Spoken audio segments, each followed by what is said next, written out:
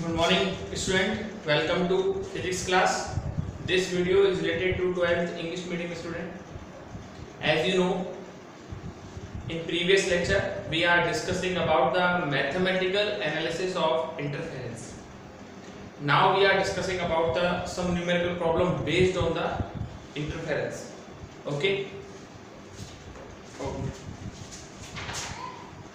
हम last lecture पे आपको इंटरफेरेंस के बारे में बता दिया था। आज हम उससे रिलेटेड कुछ न्यूमेरिकल प्रॉब्लम्स हैं उनको डिस्कस करेंगे। चलिए देखिए सबसे पहले जो है हम्म, सबसे पहला क्वेश्चन है आपकी बुक का ये।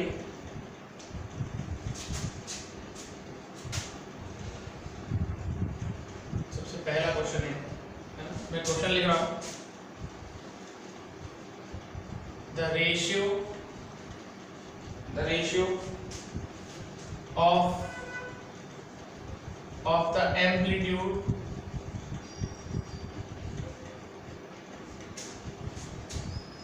Amplitudes of of two. Similar wave of two similar wave is two ratio one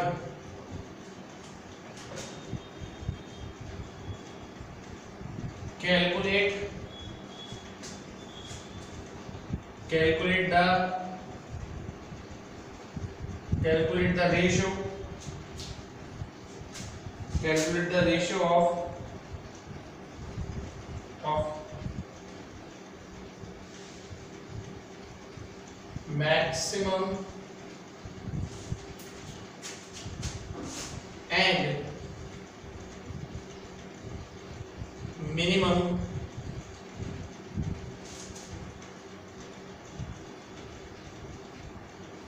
amplitude amplitudes and intensities intensities. Of vibration. Of vibration in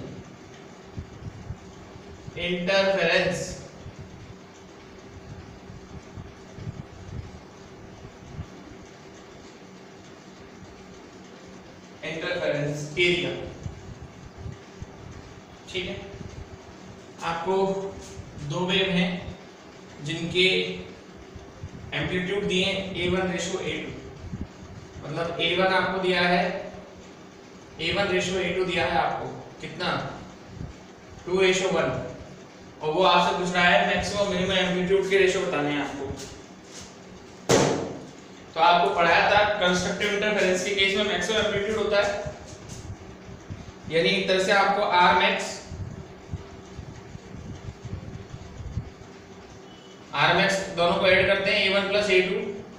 upon A one minus A तो ए one two है A to one है.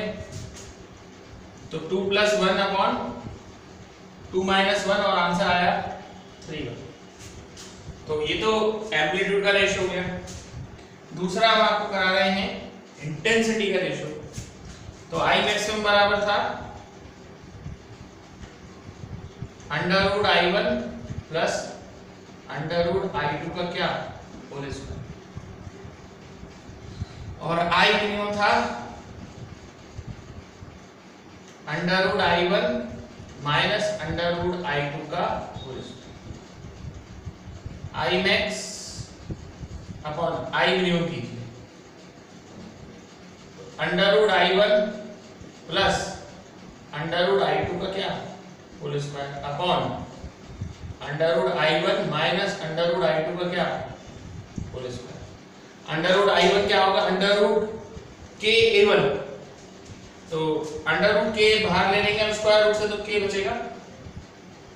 और यहाँ A one plus A two का whole square ऐसे नीचे करेंगे। A one minus A two का whole square A one plus A two two plus three two plus one और A one minus A two two minus one का square करना है आपको। तो ये नाइन रेशो वन आएगा under root I one under root के ए one होगा ना? के अंडर रूट के बाहर आएगा स्क्वायर रूट से तो के रह जाएगा। और A one plus A two अंदर आएगा स्क्वायर रूट ये वही कल वाले जो फॉर्मूला मैंने आपको बताया था, उसी पर बेस्ड है। आप देखें एक बार इस न्यूमेरिकल को।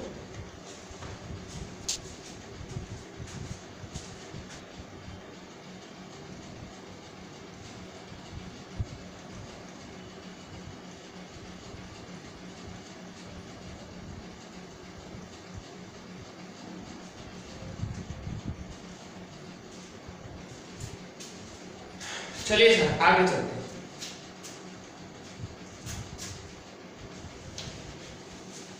ये आपको हमने पहला पहला क्वेश्चन कराया था आपकी बुक का ना इस तरह का क्वेश्चन एग्ज़ाम में काफ़ी आता है ठीक हम्म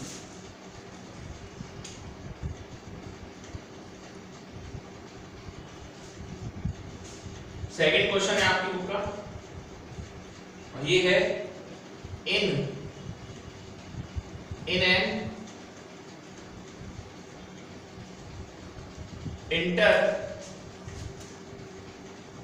interference in an interference experiment in an interference experiment two source two source of two source of intensity. Two source of intensity. I and 4I are used. Are used.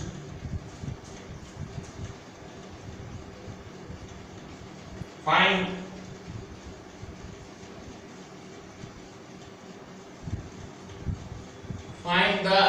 transparency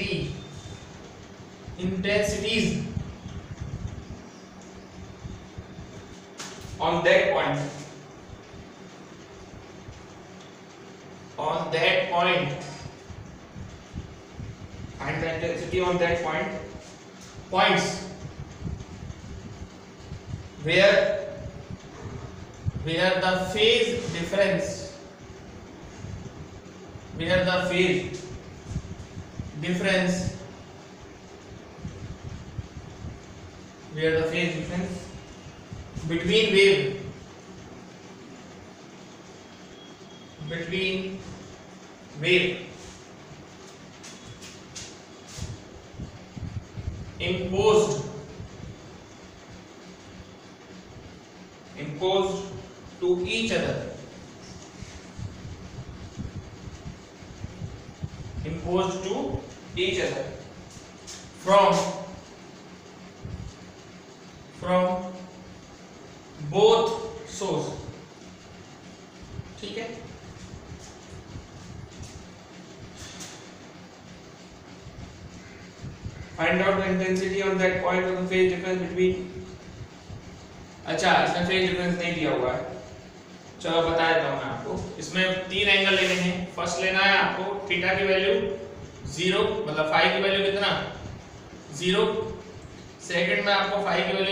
90 degree और third पे आपको लेना है phi की value कितनी? 180 degree चलिए देखते हैं आइए। रिजल्टेंट इंटेंसिटी का क्या फॉर्मूला होता है? रिजल्टेंट इंटेंसिटी का फॉर्मूला होता है I equal to I one plus I two plus two under root I one under root I two cos five I one given है आपको कितना? आई आई टू भी गिवन है आपको कितना? फोर आई वैल्यू रखते हैं इसके अंदर अपन लोग. आई बराबर. I plus four I plus two under root I और फोर आई का अंडर रूट लेंगे तो कितना आएगा? टू अंडर रूट आई और cos zero degree cos zero की वैल्यू वन होती है। तो आई प्लस फोर आई और ये भी हो जाएगा आपका फोर आई आंसर कितना आया? नाइन तो ये पहला केस था जब आपका थीटा आपने कितना लिया था? ज़ीरो ऐसे ही आप दूसरा रखेंगे, जिसमें आप, ये फ़र्स्ट वाला केस था, जहाँ आपने थीटा ज़ीरो लिया। दूसरे वाले केस में आप थीटा की वैल्यू कितनी लेंगे? 90 डिग्री मैं इसी में ही कर दे रहा हूँ। तो यहाँ 90 रखेंगे। cos 90 की वैल्यू ज़ीरो होती है तो ये सारी टर्म जो है, ये वाला हिस्सा जो है, पूरा ज़ीरो हो जाएगा। आंसर क्या आएगा? 5 जब आप 90 लेते हैं। और तीसरे केस में आप थीटा की वैल्यू लेंगे, कितना? 180 डिग्री जब यहाँ cos 180 लेंगे, कितना लेंगे आप? तो 180 डिग्री की वैल्यू माइनस वन होती है। कितनी होती है?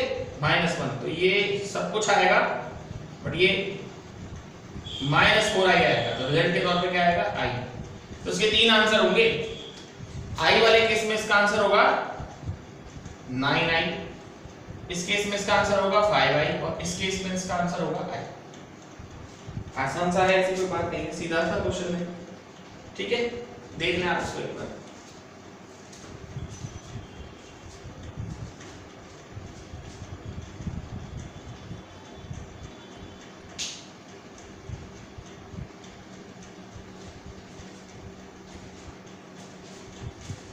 आइए आगे चलते हैं।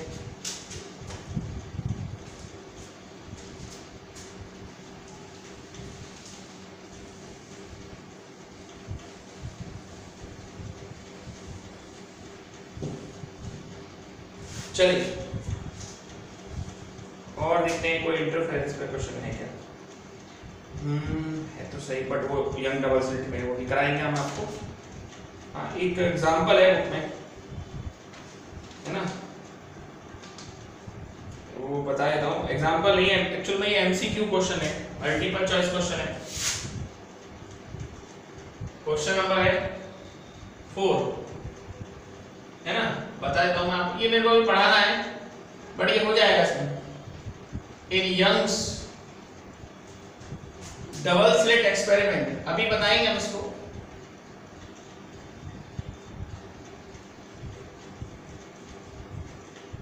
in Young's double slit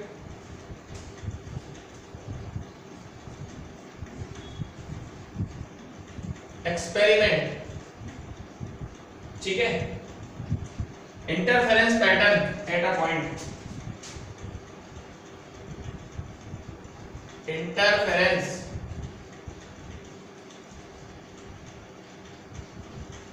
interference experiment गलत लेता in Young experiment if the width है। If the with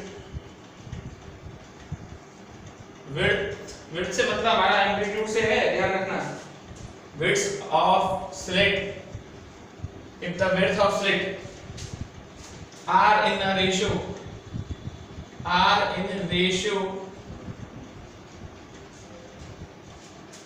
4 ratio 9 the ratio of the intensity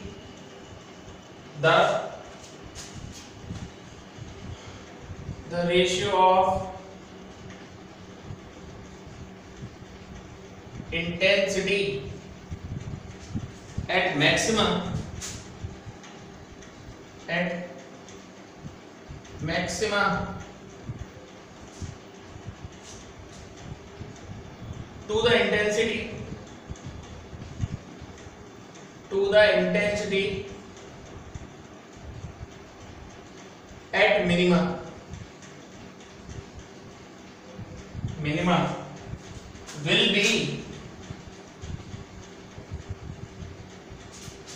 मैं आपको भी पढ़ाऊँगा ये डबल सेट एक्सपेरिमेंट इसमें आपको ना a1 a2 दिया है। A1 रेशियो a2 कितना है? फोर रेशो में।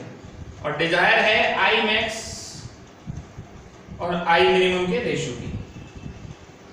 अभी पढ़ाया था मैंने आपको आई मैक्स बराबर था under root I one plus under root I two और ये नीचे अंडर रूड आई वन पूरे का स्क्वायर के बाहर आता है अंडर रूट का वो कैंसिल कर देगा। यहाँ से अंडर रूट के बाहर आएगा, नीचे से सॉरी स्क्वायर से बाहर आएगा तो के आएगा, यहाँ भी के आएगा। A1 प्लस a2 और यहाँ a1 minus a2 whole square के से के कैंसिल a1 आपका फोर है ए टू आपका नाइन है। तो ये हो जाएगा आपका।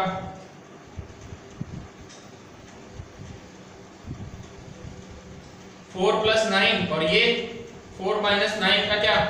स्क्वायर। ऊपर आएगा थर्टीन और नीचे आएगा फाइव। वो भी माइनस का। स्क्वायर लेंगे तो कोई परेशानी नहीं है। 169 रेशो 25 इसका बुक में जो आंसर है ना, वो गलत है। ठीक है? आप इसको सही करेक्ट कर लेना बाकी ये जो आंसर आया 169.25 this is a well correct answer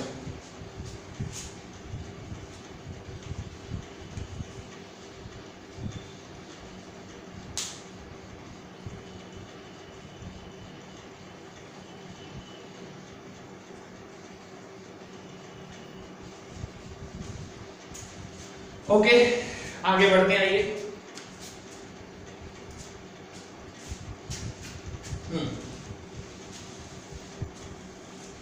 अब जो हमारा टॉपिक है, ये जो मैंने आपको न्यूमेरिकल कराया है, ये कल जो मैंने आपको मैथमेटिकल एनालिसिस पढ़ाया था, उस पर ही बेस्ड जो न्यूमेरिकल थे, वो कराए हैं।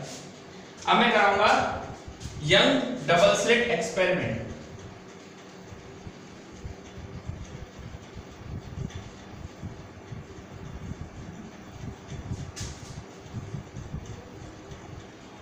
experiment ठीक है बड़ा है हुँ? हम्म?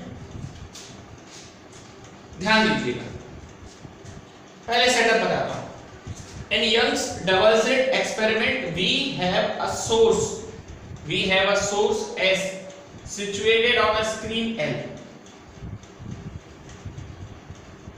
हमारे पास एक सोर्स है S जो कहाँ रखा हुआ है screen L पर. In Young's double slit experiment, we have a source L situated on screen L. In front of screen L, we have a screen M. Screen L के सामने आपकी एक स्क्रीन M है where we have two fine hole जहाँ आपके दो fine hole हैं S1 and S2 the distance of S1 and S2 from source S the distance of S1 and S2 from source S is equal S1 और S2 जो source हैं उनकी जो distance है सोर्स S से वो equal है यानी अगर S से कोई वेव एमिट होती है तो वो सोर्स S1 पर और सोर्स S2 पर इक्वल टाइम में पहुंचेगी। इक्वल टाइम में पहुंचेगी, दोनों के बीच में कहीं कोई डिफरेंस नहीं होगा। एस से जो वेव एमिट होगी, वो सोर्स S1 पर और S2 पर इक्वल टाइम पर पहुँच जाएगी। In front of screen M we have a screen N screen M के बाद आपकी क्या है एक? स्क्रीन N है। Where we observe interference pattern जहाँ पर आपको इंटरफेरेंस पैटर्न ऑब्ज़र्व करना है। ठीक है? अब मैं एक बार दोबारा बता देता हूँ। In Young's double slit experiment we have a source S situated on screen L in front of screen L we have a screen M where we have two fine hole S one and S two the distance of S1 and S2 from S the distance of S1 and S2 from S is fixed or equal so the waves are emit from S reach at equal time from S1 and S2 that's why they are behave like two coherent sources ये दो coherent source की तरह behave करेगी अगर S से wave S1 पर और S2 पर इक्वल टाइम में पहुंचेगी that's why it behave like a two coherent sources. In front of screen N, we have a screen N. Screen N के सामने हमारे पास एक screen N है. In front of screen N, we have a screen N, where we observe interference pattern. जहाँ पर हमको interference pattern observe करना है. ठीक है where we observe interference pattern okay अब देखिए वेव सेमेट होती है एस से कौन सा वेव फ्रंट निकलेगा वेव सेमेट होती है एस से और इससे स्फेरिकल वेव फ्रंट निकलेगा। कैसा वेव फ्रंट निकलेगा? स्फेरिकल वेव फ्रंट निकलेगा, जो S1 और S2 पर इक्वल टाइम में पहुंचेगा। और ये क्लियर है कि S1 और S2 हाइगेज के सेकेंडरी वेवलेट प्रिंसिपल के अकॉर्डिंग एक नए सोर्स ऑफ़ लाइट की तरह बिहेव करेंगे। हाइगेज ने बात कही थी कि दो नए सोर्स की तरह क्या करेंगे? बिहेव करेंगे। है ना? एक सेकंड रुकिएगा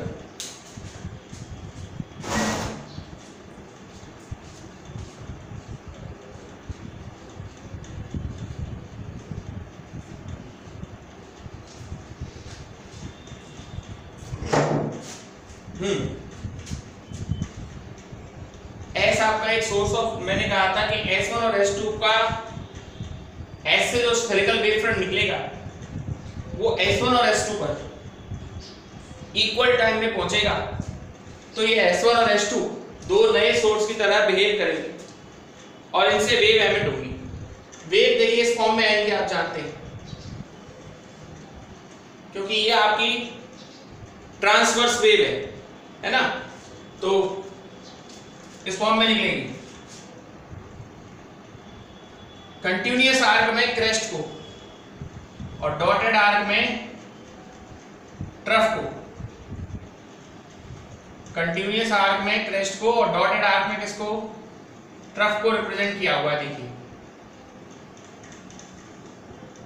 ऐसे यहाँ से crest trough crest trough crest ठीक है?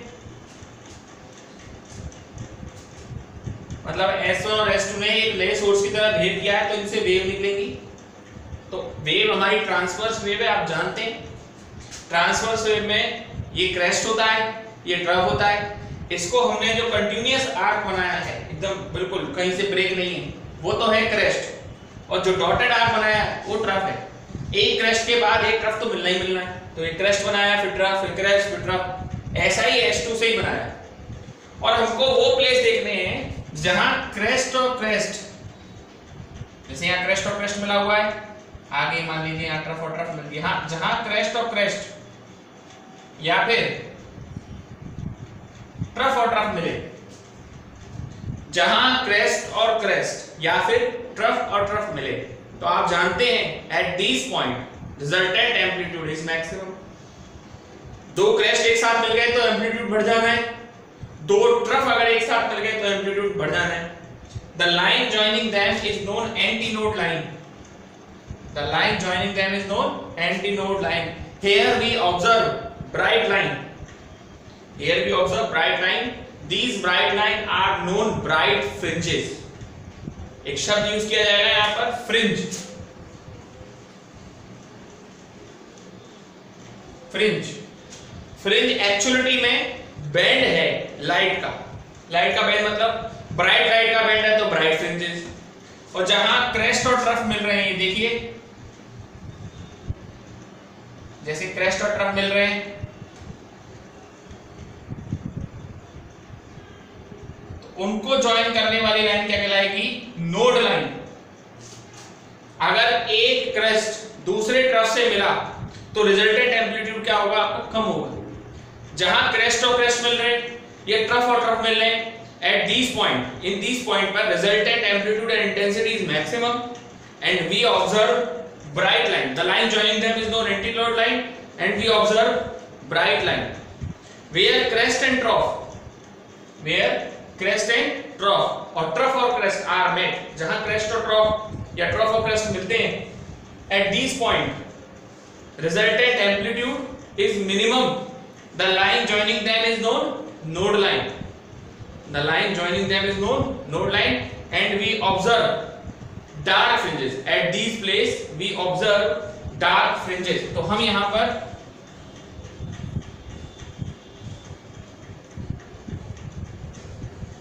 डार्क फ्रिंज ऑब्ज़र्व करते हैं ठीक है उस जगह पर जहाँ पर ये है, इस जगह पर हम क्या ऑब्ज़र्व करते हैं आपकी डार्क फ्रिंजेस ठीक है? तो इसमें डार्क लाइन डार्क फ्रिंजेस हो गई और जहाँ क्रेस्ट क्रेस्ट मिला ट्रफ ट्रफ मिला, वहाँ ब्राइट फ्रिंज हो गई, ठीक है? एक बार दोबारा समझा रहा हूँ, देखिए एस से स्फेरिकल वेव फ्रंट निकलेगा, जो S1 और S2 पर इक्वल टाइम में पहुंचेगा। S1 हाइगेंस के सेकेंडरी वेवलेंथ प्रिंसिपल के अकॉर्डिंग S1 और S2 एक नए सोर्स ऑफ़ लाइट की तरह बिहेव करेंगे। और इनसे भी वेव एमिट होगी। वेव आपकी ट्रांसवर्स वेव है, जो क्रेस्ट और ट्रॉफ की फॉर्म में आती है। Here continuous arc represent crest and dotted arc represent trough continuous arc crest को रिप्रेजेंट करेगा और डॉटेड किसको रिप्रेजेंट करेगा ट्रफ को। तो crest trough crest trough crest trough ऐसे ही चलेगा। ऐसे यहाँ क्रेस्ट ट्रॉफ क्रेस्ट ट्रॉफ ऐसे चलेगा। The point at which where two crest और two trough are met the point at which where two crest और टू ट्रॉफ आर मेड जहाँ पर दो क्रेस्ट या दो ट्रफ मिलेंगे। The point at which two crest and two trough are met at this point resultant amplitude and intensity is maximum ऐसे दो point जहाँ पर दो क्रेस्ट मिल जाए या दो ट्रफ मिल जाए, उस जगह पर रिजल्टेंट एम्पलीट्यूड मैक्सिमम होगा। The line joining them is known antinode line at these point we observe bright line. These bright line are known, bright fringes. What is the fringes? Fringes is a cluster of lines. In this fringe we have a bright lines these are the bright fringes. If we have dark lines these are the dark fringes. The point at which crest or trough or trough or crest are met at this point resultant amplitude and intensity is maximum. The line joining them is known node line. At these place we observe dark fringes okay. और ऐसे बनती है देखिए। जैसे ये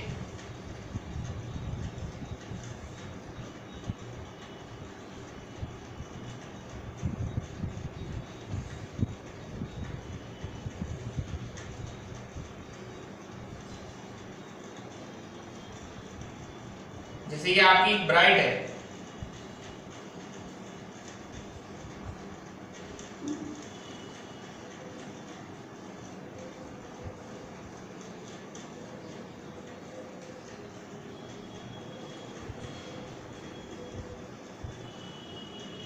ये इस तरह से मिलता है, ये फ्रिंज पैटर्न है, ठीक है?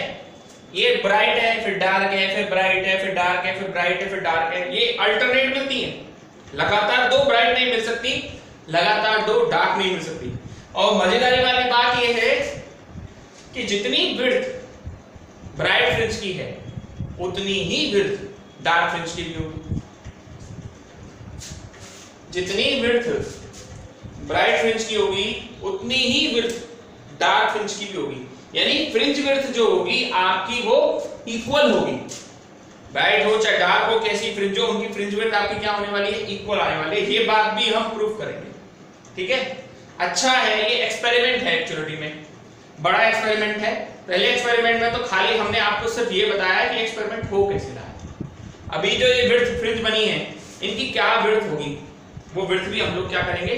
फाइंड आउट करेंगे। इसमें कितनी इसकी विड्थ निकल के आएगी वैसे मैं आपको बता दूँ, चाहे डार्क फ्रिंज हो, चाहे ब्राइट फ्रिंज हो, दोनों ही फ्रिंजों की फ्रिंज विड्थ आपकी क्या होगी? इक्वल होगी। जो आज न्यूमेरिकल कराए हैं, वो वीडियो में से देख के नोट्स कीजिए नोट कीजिएगा। और ये जो आपको मैंने यंग डबल सेट एक्सपेरिमेंट कराया है, इससे रिलेटेड मैं नोट्स ग्रुप पे पोस्ट कर दूँगा। और कल का लेक्चर जो है, जो फ्रिंज विड्थ से रिलेटेड है इट्स ट्रूली इंपॉर्टेंट बहुत इंपॉर्टेंट लेक्चर होगा। Okay that's all for today